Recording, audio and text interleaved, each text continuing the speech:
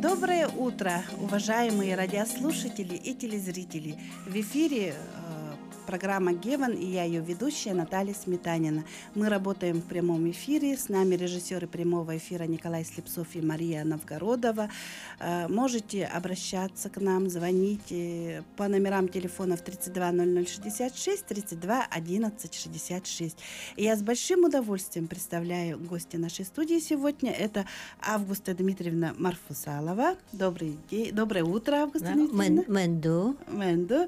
Председатель Совета старейшин старейшин Ассоциации коренных малочисленных народов Севера Республики Саха-Якутия, председатель комиссии по развитию Арктики, северных территорий и коренных малочисленных народов Севера Общественной палаты Республики Саха-Якутия, член Общественного совета Министерства по развитию Дальнего Востока и Арктической зоны Российской Федерации, кандидат философских наук. Очень длинное представление получилось. Не говори. Я с таким большим... Мэнду Наталья. Мэнду, Мэнду, ага. Балдыңас иңәне денис. Авгарат бикел, кутуя эйчим. Экджентакен, Экджентакен, спасибо большое. Для начала это. Да, для начала поговорили на родном эвенкийском языке.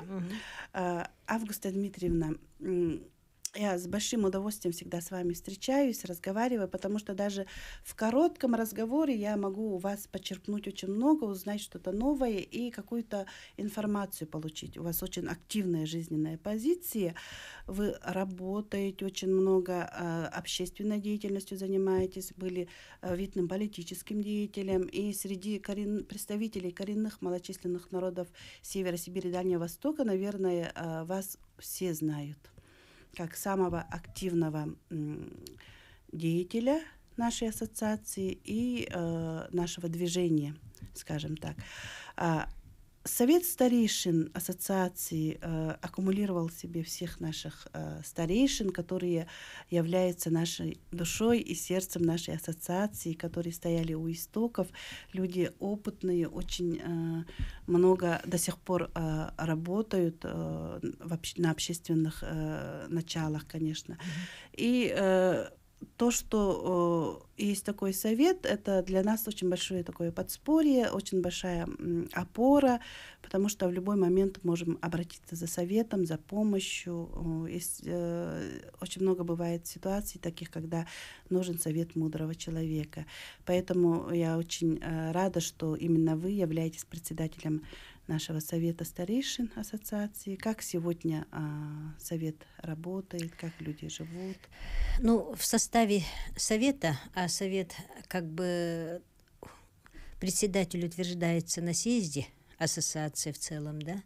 Ну, тут вот меня как-то вот назначили, что огорошили это уже два съезда назад, наверное, были перед фактом поставили. Я даже сразу подумала, да, я уже, оказывается, такая пожилая стала, что стала председателем совета старейшин.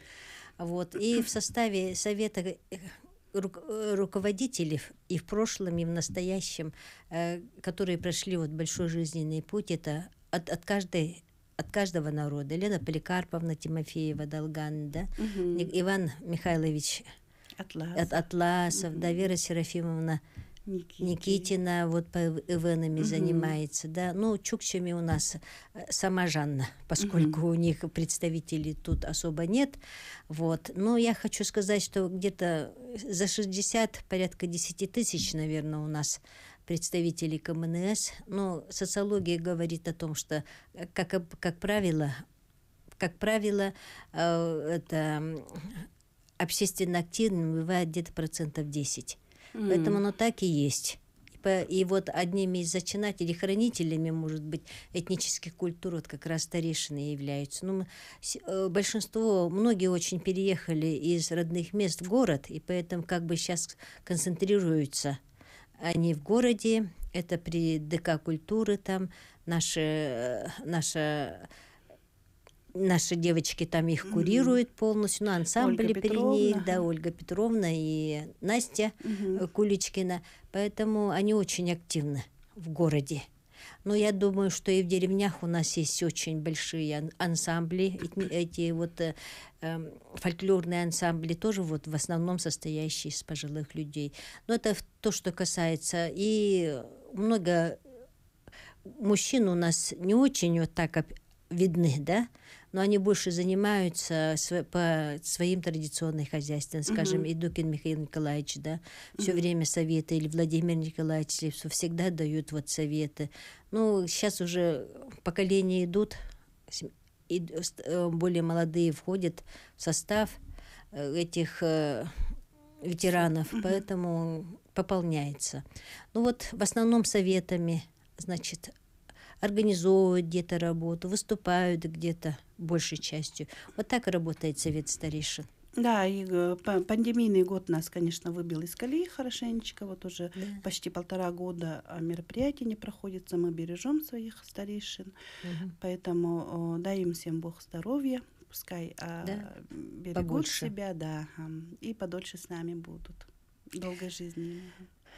Ну, я бы сказала, что их э, влияние очень чувствуется. Вот по последние годы это видно, угу. потому что мы судим по детям же. А то, что у нас детки уже как бы, э, не говорим уже поют, танцуют, да, они уже делают разные вещи на то, чтобы вот э, как бы возродить свои знания этноса, истории этноса, языка большей частью. Вот как раз идет, идет десятилетие же э, языков коренных uh-huh. народов. А за это время, может быть, каким-то образом восстановится. Я не говорю, что будет бытовой язык, но то, что если ты даже будешь слышать будешь говорить там, здороваться, как я сегодня поздоровилась, тебя поздравила, да, с днем рождения, то, наверное, уже какой-то плюс будет большой. Главное, что в детях сознание появилось, что они не просто представители там какого-то государства, какого-то региона, района, они являются представителями очень древних этносов, которые жили будут, живут сегодня, и я надеюсь, будут жить еще долго. Будем жить. Да. Угу. Августа Дмитриевна, вы венкийск, венкийка из Алдана, то есть а, с какой, какой род у вас? Бута или какой? Нет, Анна Николаевна говорила Деволга. Ага. Да. Это э, район Амгинский угу. идет. Но на самом деле у меня корни еще немги... Это, нем... Ой, подожди, запуталась. Э, э, нем... Немгиркан, наверное. Угу. Вот, это с маминой стороны. Отец там вот так вот. Mm. Не бута. Бута, угу. бута это в основном Я... идут э, учурские угу. и район, ну, горные, янгринские в той стороне. И амурских очень много, хабаровских много бута. Угу. А, Августа Дмитриевна, а вы, наверное, в детстве говорили на родном языке? Больше слышала. Угу. Я же говорю, меня по необходимости много, многодетная семья, и все время же перес... тогда шло переселение – с места на место людей переселяли. Угу. Поэтому а, отец с матерью были работниками школ. Они как бы тогда имели достаточно высокое образование. Я поздно очень узнала, что у меня, оказывается, папа военный. Mm. У него военное образование, mm-hmm. он старший лейтенант. Он не говорил о войне, очень редко. Вот потом я только узнала, что у него вот такое образование специальное имеется. Ну, а у мамы 7 классов сразу на, во время войны началась вот... Нужны были такие люди. Так что вот педагогические династии получилась. Угу. И они переселялись, я, чтобы дать образование, она меня с, с третьего класса отдала в интернаты русские. Mm. Поэтому я из одного поселка в Алданском районе прошла все поселки практически из интерната в интернат. Так что вот, э, э, а так все время, ну, выезжали на каникулы к деду с бабкой. Они до конца имели свое стадо, где-то в районе 100 голов было. За каждым закреплены были тугуты, олени. И вот они там разговаривали, деды наши. Я слышу, слышала немножко понимала, конечно. Очень вкусный язык, когда э, особенно слышишь, как дети начинают говорить на э, родном языке, разговаривать между собой. Очень вкусно это слышать. Ага. Мгм. Августа Дмитриевна, вы э, депутат Государственного собрания Илтумен э, второго созыва. Второго, да. Мгм. Это Девян- 98-2003 э, год. 2003, да. По происшествию этого времени какой-нибудь анализ э, вы можете небольшой сделать? Что изменилось с Ну, времен вашего депутатства? Тогда все начиналось, вы только тогда все ставили на свои места, говорили, а, начинали работать. И сегодня как вот идет? Э, Я хочу сказать, что наши с вами ну, прародители, а, первые организаторы ассоциации, да, Андрей Васильевич, Николай Романович Калитин, Василий Афанасьевич Робик. В общем, тогда очень крепкий. Якутия тем характерна, что здесь были очень сильные кадры. Ну, Александр, э, Андрей Васильевич, он же работал заместителем заведующего отделом, идеологическим отделом обкома партии. Им было поручено по заданию ЦК, ну, обкома, получается, вот создать ассоциацию, объединить э, коренные малочисленные народы, чтобы они могли подключиться сами к решению тех насущных проблем, которые были высказаны писателями народов Севера. Это еще в 87 году было. Вот с тех пор развернулось, а тут перелом. Надо, надо было как-то э, приспосабливаться, потому что менялась система. Это очень больно по людям ударяет. И вот то, что этническая работа, она каким-то образом очень здорово нам помогла сохраниться. Потому что, ну, народы Севера никогда не благоденствовали, никогда богато не жили, они привыкли, и, не- и, в общем-то, и по сегодняшний день не очень-то мы стремимся, наверное, вот к таким большим заоблачным каким-то этим. А повседневная жизнь, вот это и с природой вместе, с экологией, вот это как-то отдельные черты. Наверное, благодаря этому мы сегодня и сохранились. И ассоциация очень сильно этих кадров кадры были хорошие. Тогда, помните, Тамара Егоровна Варламова была, Григорьев, Христофор Афанасьевич, они сидели, вас крепко сидели, потому что они были, имели опыт, управленческий опыт работы. Мгм. А без этого вообще нельзя что-то организовать. Вот многие просто хаос любят. А на самом деле надо жить планово, надо все это делать. И вот э, э, так и пошло. Но законодательство, оно дело такое, Мгм. очень серьезное. Э, Спасибо, Августа Дмитриевна. Мы продолжим э, во втором блоке. А сейчас, дорогие телезрители и радиослушатели, мы уходим на небольшую рекламу. Мы в прямом эфире. Встретимся после нее. Я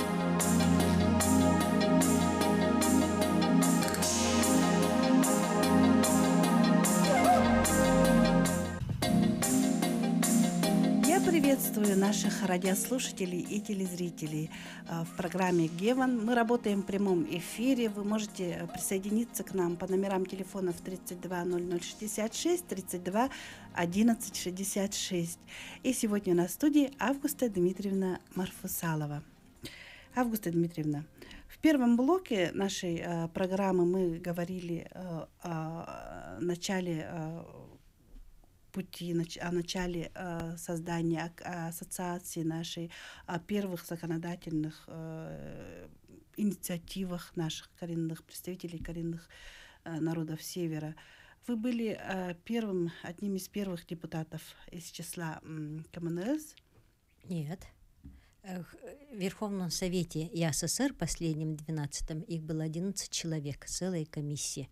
И Мария Петровна Погадаева возглавляла. Она до этого была еще депутатом Верховного Совета СССР. Мгм. Два созыва. Это представляете, какое время было? Деп... Оленевод и ста- становится депутатом. Последним депутатом от МНС была Вера Попова, Севена Бетентая, Верховного Совета СССР. Ну тогда вот такая градация была в советское время. А потом пошел э, конкурсный, что ли, выбор, да? И вот э, они, они как раз очень сильно занимались, потому что без правил особо в обществе нельзя. А правила это законы, которые мы должны исполнять. И поэтому вот э, Мария Петровна, первый который вопрос, она вообще болеет за общины да, создание, за восстановление традиционной хозяйственной деятельности, то вот первый закон был принят в 92 году. Это закон об общинах коренных малочисленных народов Севера, севера Республики Саха-Якутия. Угу. Вот это первый закон был, он действовал. Но этим же нельзя ограничиваться. Жизнь большая, круг сферы деятельности большой. Ну вот поэтому... А я работала в это время в министерствах. Ну, сначала в Министерстве по делам малочисленных народов Севера, потом в Министерстве по делам народов. Столько много структур поменялось. Ну, хорошо, мы просто подумали тогда. Это Елена Поликарповна работала, Вера Серафимовна работала, да, там несколько человек, Аксакалы наши теперешние. Вот э, мы подумали, а, ну что бояться все время держаться за это кресло? Надо будет, значит надо. И поэтому мы спокойно занимались делами. Вот проекты вот этих законодательных инициатив. Ассоциации было выработано уже достаточно много проектов законов. Это институт наш большой, он очень сильно помогали, очень сильно работали, не только наукой. Вот я считаю, что ученые – должны не только теоретически мыслить, они должны помогать осуществлять это в делах, народу помогать, чтобы легче жилось каким-то образом. Ну вот они были как бы вот основным блоком людей, которые, которые вот готовили эти законодательные инициативы. Но их надо проталкивать. Поэтому вот было принято решение такое, что надо идти депутатов, потому что Элтумена, потому что их в первом созыве не было представителей КМНС. Вот таким образом, значит, э, я пошла баллотироваться, а, видимо, в Алдане очень серьезная ситуация была, очень, он замерзал практически, э, город, все его кинули, многие выехали, республика не обращала внимания, вообще министры за пять лет туда не появлялись. Вот такая установка, видимо, была. И, а он же и так старый город. И он все отдавал стране, а по сути для себя-то Алданский район ничего не получал. И вот в итоге, значит, э, получилось так, что в 98 году нас, местных коренных, русскоязычного населения, избрало троих человек. Двое в палату представителей и один в палату республики Никифор Романович Ябловский. Ну и Берзгалов еще был по Томотскому округу. Вот мы занялись. И поэтому я стала депутатом Государственного собрания Илтумен второго созыва. И вот этот блок он э, э, вот эти годы, как раз за пять лет моего депутатской деятельности, у нас были приняты все пять основных законов, которые обустраивали жизнь. Это правовой статус коренных малочисленных народов Севера. Это три хозяйственных закона по оленеводству, по охотпромыслу, по рыболовству отдельно были ну и закон о статусе национального административно-территориального образования. Но он был нацелен на то, чтобы наши администрации районные тоже занимались бы этими делами. Сами знаете, без власти нельзя ничего фактически сделать. Должен лидер какой-то быть на месте, чтобы он крутил и занимался. А это могут только люди, которые получают зарплату на своей деятельности должны выполнять функции определенные. Вот эти пять законов, вот мою бытность были приняты, ну и подготовлено было достаточно много. Но кроме того, конечно, с комитетами мы очень хорошо работали. Вообще созыв был очень оригинальный. У нас были 23-летние депутаты, и заканчивались где-то 80, по-моему, лет кому-то было по самому старому. Ну вот, и работали, э, Палата представителей в основном писала э, и принимала законы, а Палата Республики, она только конституционные законы принимала mm-hmm. в то время. Mm-hmm. Поэтому через нас вот прошли все эти законопроекты и, и законы, и вот остался очень большой блок. И поэтому где можно было, везде вклинивались. Особенно по земле, особенно, значит, по экологии, а, в образовании очень сильно работали, по культуре. В общем, мы друг друга понимали. Какой-то вот такой был момент. И вот сейчас эти, э, благодаря им мы впервые получили бюджетную поддержку оленеводству, затем определенное упорядочение в области охоты и рыболовства. Это основное, чем занимаются люди, что можно держать их на, э, на местах а не так, чтобы они переселялись. Вот поэтому э, благодаря вот этому, значит, наверное, без финансирования нельзя. Да, конечно. Да, вот сегодня уже хвалится, что они на оленеводство дают где-то 800 с чем-то миллионов. Ну, наверное, хорошо, но и цены-то другие уж. Жизнь другая, да. да. А тогда уже утвердили, как бы, это субсидия же была за работу в оленеводстве, как бы за поддержку, где-то в районе, наверное, 12 или, ну, средняя зарплата была. Это было первое. Уже люди, людей как-то поддержали, то что практически уходили. И пошел рост поголовья. То его совсем практически дошло, дошло до 140, по-моему, тысяч, а потом до 200 догнали. И э, Борис Ануфриевич был заместитель министра сельского хозяйства. А как раз он занимался традиционными э, этими видами хозяйственной деятельности, поэтому мы как-то все ком- компактно вот так работали, uh-huh. все вместе. Uh-huh. Августа Дмитриевна, как э, у вас хватает столько энергии, э, и сегодня вот ваш каждый день расписан по минутам, буквально встречи, работа. Вы являетесь председателем комиссии Общественной палаты Республики Саха-Якутия именно по арктическим зонам, по северу. Э, что сегодня вы э, в комиссии решаете? Ну, опять, опять угу. то же самое. От, отсутствие большого количества кадров, ну, нам, наша малочисленность, наверное, сказывается. Вот четыре года назад вдруг мне позвонили, э, Вячеслав Иванович, ну, сначала Мария Петровна Дьяконова, Августа Дмитриевна, мы вас посылаем в общественную палату. Угу. Я говорю, а что это такое вообще? Что это такое общественная палата? Вообще столько много структур, еще одна вот такая, зачем она нужна? Ну, ну некому больше. Нас просят, чтобы мы кого-то делегировали. Ну ладно. Ладно, пришла я Вилтумен. Ну, там уже знают, поскольку я эксперт в комитете по делам Севера. Значит, mm-hmm. постоянно там почти ежедневно бываю.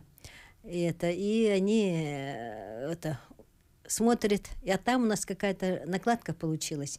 Короче, Мария Петровна, э, перерегистрация шла общественных организаций в 99 году. Мы-то с, э, с Борисом Ануфриевичем сделали это, а Мария Петровна старый принесла. И вот комитет не утвердил меня. Даже у самих у этих э, депутатов глаза расширились. Как так? А Марфу Салову почему-то не утвердили. Но она успела при, принести, и в итоге я попала в, обще... в эту палату. А там э, комитет по северу был создан уже. Иван Иванович председателем. Ну, естественно, я там работаю. Вот я потом уже поняла, что это, оказывается, общественность играет очень большую роль.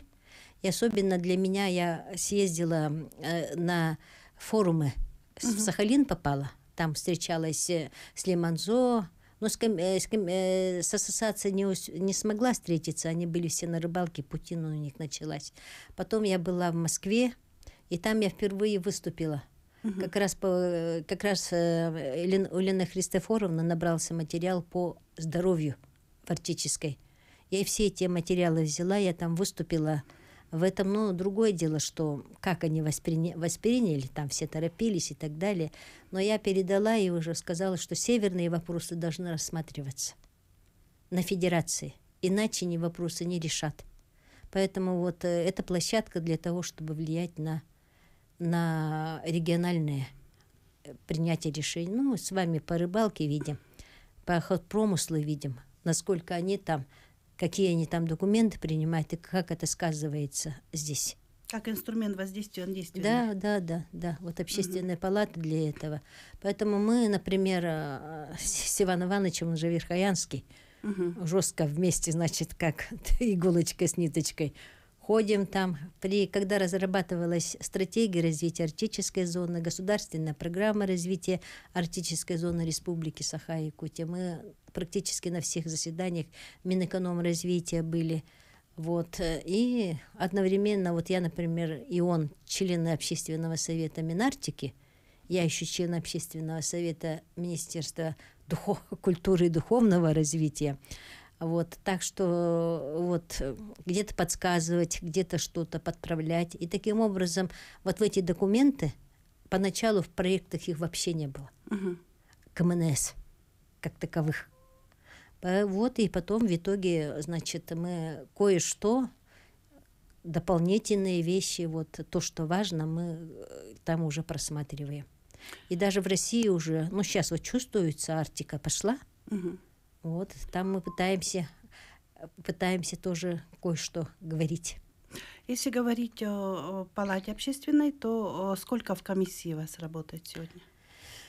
Сегодня это, ну, это э, в этот созыв, когда меня пропустили, я уже поняла значимость, я поняла, что могу работать с федерацией, поэтому я уже сама осознанно попросила, чтобы э, как-то меня рекомендовали. Uh-huh. Я ассоциации рекомендовала, но депутаты не стали возражать, uh-huh. скорее всего, да, таким образом. И даже потом, когда рабочая группа формировала, Иван Иванович был членом, теперь он зам председателя общественной палаты. Вот, и ну, мы самые пожилые вообще среди этого. Uh-huh. И э, сейчас вы являетесь председателем комиссии, да? Сделали такую комиссию и даже добавили коренных малочисленных народов Севера. Августа Дмитриевна, так интересно, и очень быстро время проходит. Мы уходим на очередную рекламную паузу, встретимся после нее.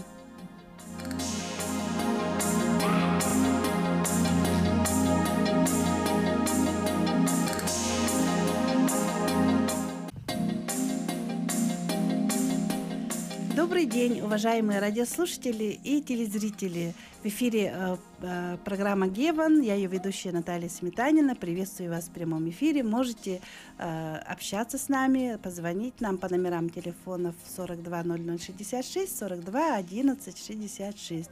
И с нами сегодня в студии Августа Дмитриевна Марфусалова. Добрый день еще раз, Августа Дмитриевна. А, продолжим наш эфир. Очень интересно. Э, даже время незаметно так быстро пролетает. Мы э, говорили о общественной палате нашей республики, в которой вы являетесь э, председателем комиссии по Арктике, по, северу, по КМНС.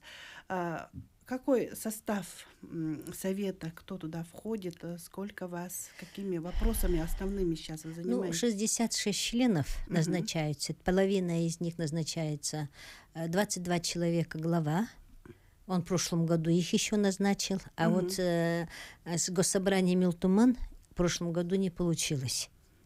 И вот назначение произошло только в начале апреля.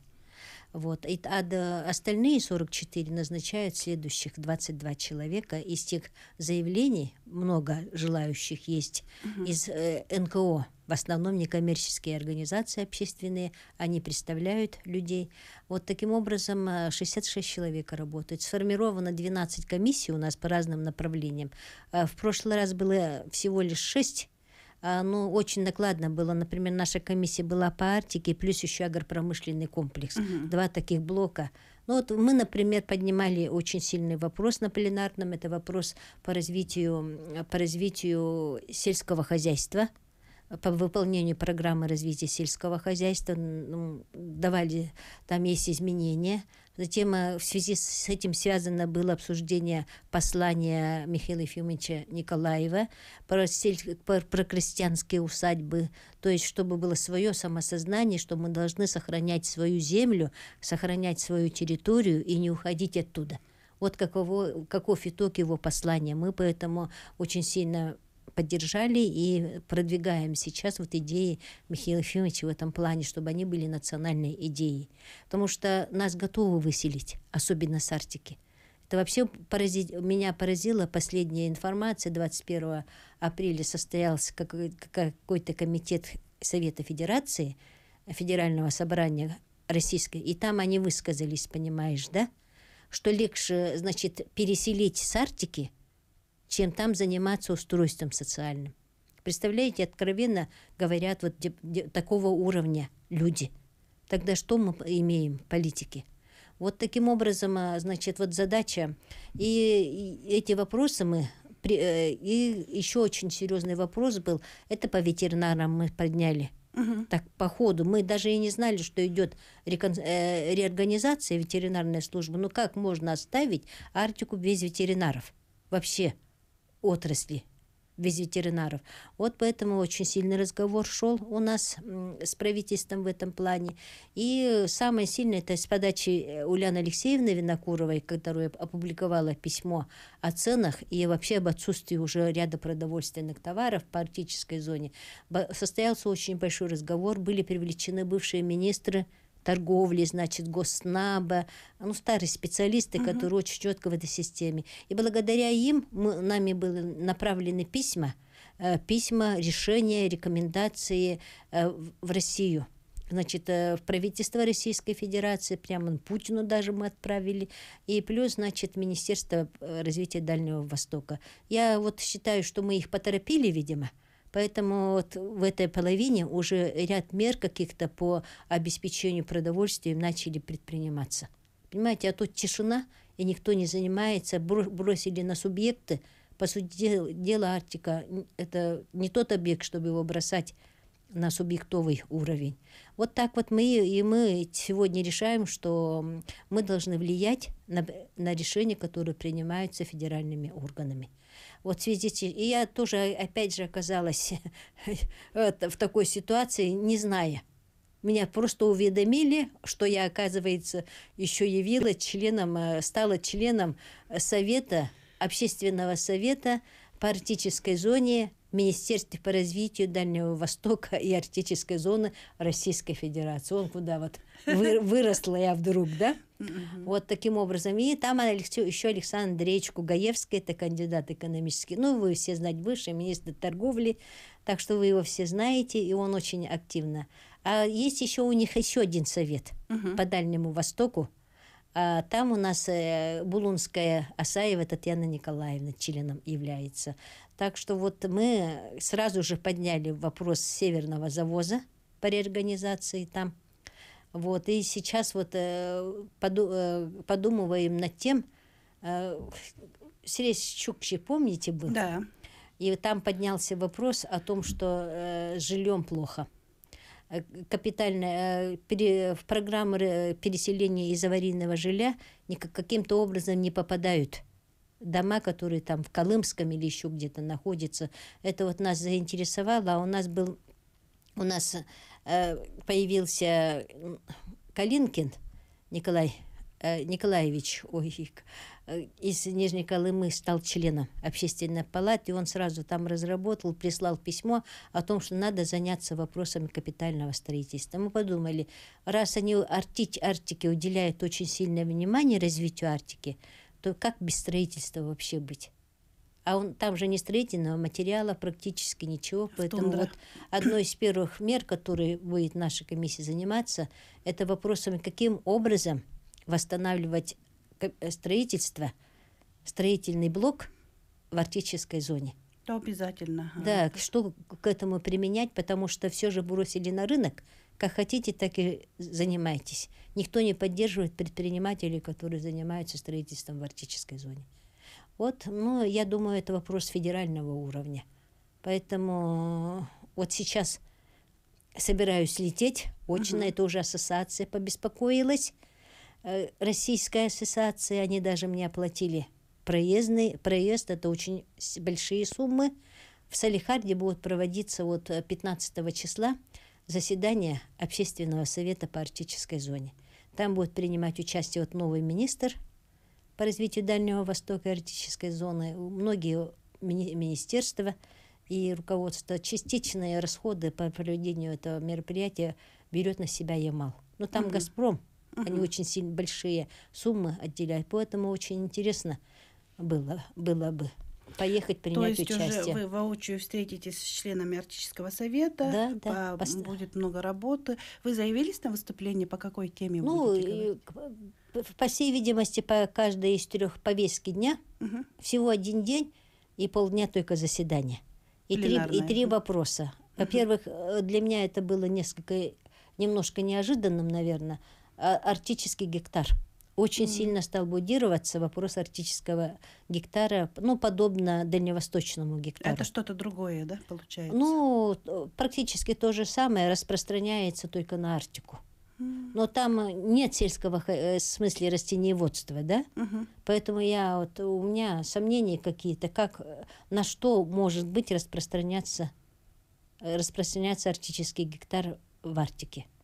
Каким образом? Для чего? Это один вопрос. Второй вопрос это вопрос о стандартах ответственности бизнеса.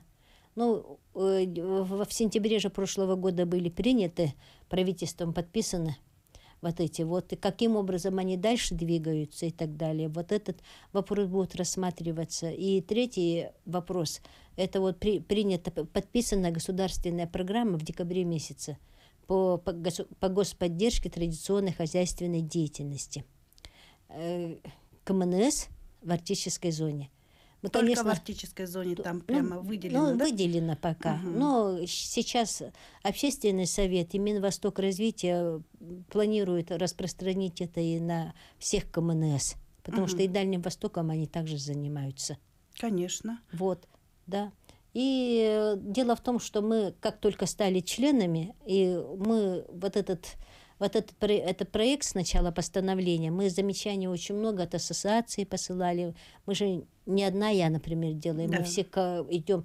На- наш плюс Якутии в том, что мы идем группой сразу, со всех структур власти, например. Да, и поэтому, наверное, э, Елене Христофоровне очень сильно помогаю. Надо отдать должное, что она, наверное, один из тех депутатов, который там по всем министерствам ходит. И где-то что-то добивается Мгм. во многом. Вот теперь вот э, благодаря, наверное, еще ее усилиям, вот буквально сегодня появилось решение о том, что э, будут записываться э, или прописываться ли оленеводы, кочующие оленеводы, которые не имеют дома в деревне, там, где они находятся в муниципальном образовании. В общем, это серьезные вопросы. То очень есть в много. паспорте будет стоять регистрация, местность там Да, какая-то. да, да, да, да, да, да. Мгм. Ну, вот такие вот вопросы очень много. И сейчас, ну, вопрос еще хочу сказать, что то, что все-таки Минсельхоз подум, подумывает о том, чтобы отнести общины сельхозтоваропроизводителям, то есть внести поправку. И вроде на сегодняшний день ни депутаты Госдумы еще не противятся этому. Вот, к сожалению, в Думе у нас только одна Татьяна Алексеевна осталась с, Х- э, с Ханты-Мансийского. Литков уже стал членом Мгм. Совета Федерации. Но то, что он наработал опыт, это ему хорошо помогает. Он сейчас председатель вот нашего общественного совета. Так что я думаю, вот надо влиять. Мгм. Влиять на то, чтобы Россия, Россия учитывала интересы регионов в первую очередь, а не принимала усредненные. Обязательно. ага. Потому что Арктика это же люди, которые живут там веками, жили, и э, учитывая, надо учитывать интересы этих людей, а не просто видеть в Арктике э, какой-то сырьевой придаток. Пока так видят они. Мгм. Спасибо большое, Августа Дмитриевна, за то, что вы пришли к нам сегодня на прямой эфир. Э, Желаю вам плодотворной работы, крепкого здоровья, чтобы и впредь вы э, нас наставляли, учили, помогали нам советами, поддерживали нас. И удачи на съезде. Арктического Бакалды совета. Бакалдамисталаха. Уважаемые радиослушатели, э, телезрители, мы прощаемся с вами до следующего четверга. До свидания. Аймака. Thank you